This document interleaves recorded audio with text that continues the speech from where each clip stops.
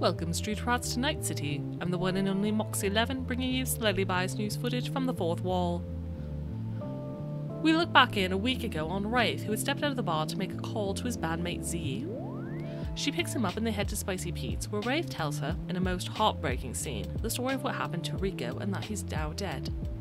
At the end of the story, Z says nothing and walks out, leaving him behind. He spends the rest of the week at a fan's place trying to sell his shoes for cash, and when he can't find a buyer, he decides to set up a benefit concert, named The Vigil, for the victims of Shady Acres, heading to the hovel to collect his gear. Meanwhile, the rest of us talk about making a distraction when we return to Shady Acres tonight so we can move about a little more freely. Our discussions move to the hovel to have a more private chat where we run into Wraith. Angus offers him a shower, and I offer him food, and as Wraith is cleaning up, Angus talks to us about using the concert as the distraction we need. However, when Wraith returns, Angus doesn't give him the full story, telling him that moving the benefit concert up a day is in his benefit.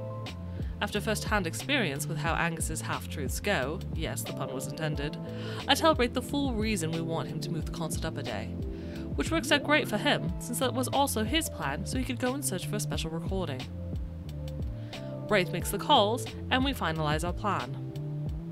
Meanwhile, I learn from my research and contacts that Newsat has also heard of the concert, the date changed, and they plan to cover it, so I inform everyone to keep their eye out. Evening descends and we return to what is left of Shady Acres.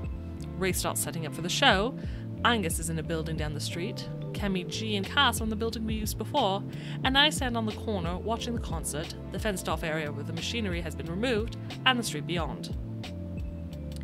With the concert starting, opening with Kabuki All Stars, Wraith and Z's band, purposefully absent Rico, an incredible performance that really showcases the man's absence.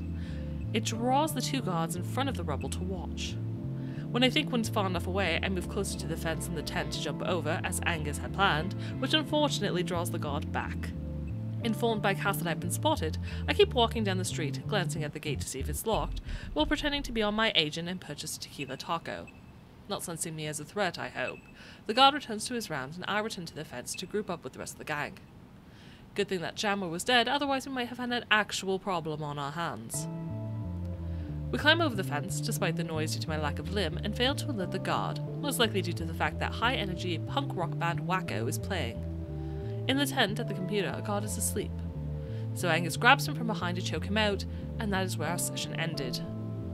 To watch the story unfold live, tune into Saves vs. Death every Saturday at 8.30pm Eastern at twitch.tv slash saves vs. death.